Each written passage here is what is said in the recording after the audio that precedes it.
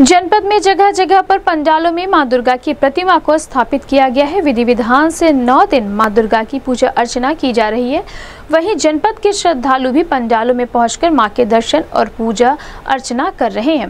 तथा पंडालों को भी अलग अलग ढंग से सजाया गया है, जो कि आकर्षण का केंद्र बना हुआ है। आपको बता दें कि कुछ जगहों पर देश के अलग राज्य मध्य प्रदेश के जबलपुर से मूर्ति को लाकर स्थापित किया गया तथा सुरक्षा के दृष्टिगत सभी थाना क्षेत्रों में पुलिस लगातार भ्रमणशील रहकर पंडालों की निगरानी कर रही है। सभी आयोजकों को निर्देशित किया गया है कि वह अपने पंडाल की सुरक्षा के लिए सीसीटीवी कैमरे लगवाएँ। रात के समय एक व्यक्ति पंडाल पर ज़रूर रहे। अगर किसी भी तरह की समस्या हो तो तत्काल डायल 112 को सूचना दें। पुलिस मौके पर पहुंचकर सहायता करेगी। इस संबंध में गोरखपुर न्यूज़ से बात करते हुए दुर्गा प्रतिमा स्थापित करने वाले आयोजकों ने कहा।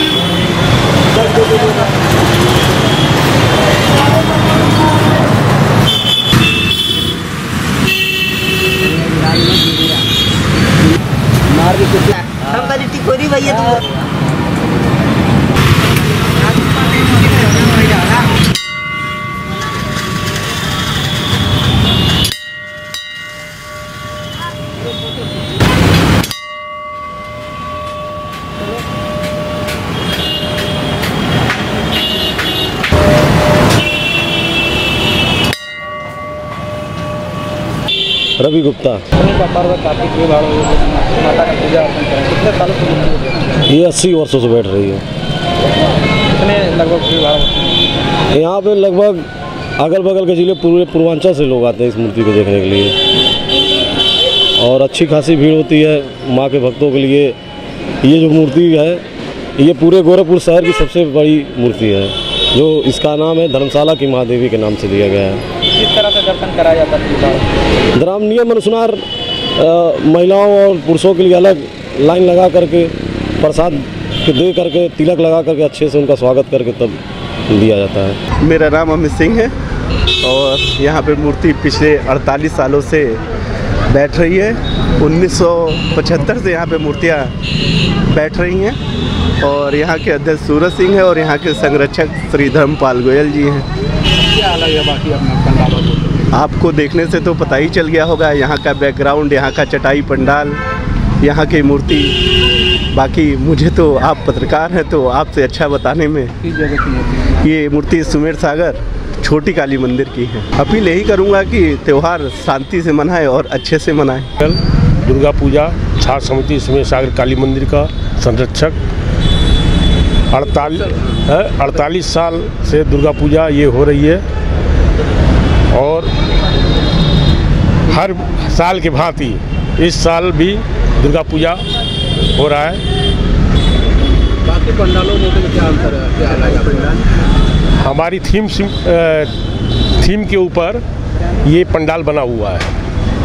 क्या क्या कुछ क्या खास है इसमें खास ये बात ये है कि इसमें जो वर्क हुआ है वो चटाई से हुआ है।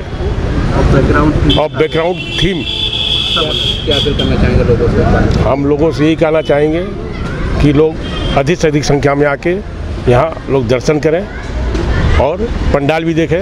मेरा नाम तान्या खुशवाहा है।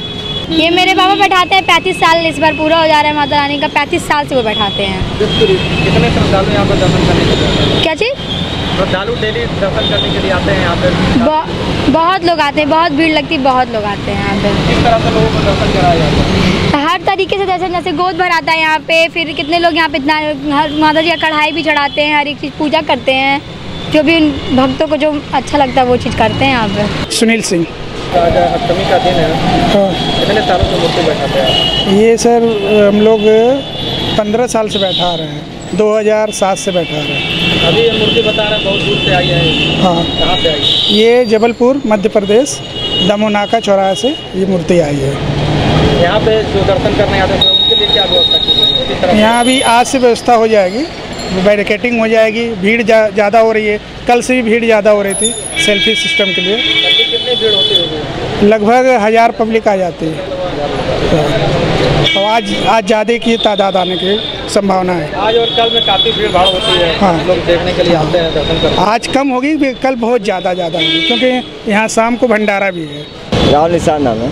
है। कितने सालों से बैठती है? यहाँ पे बैठे सर कम से कम बीस साल है।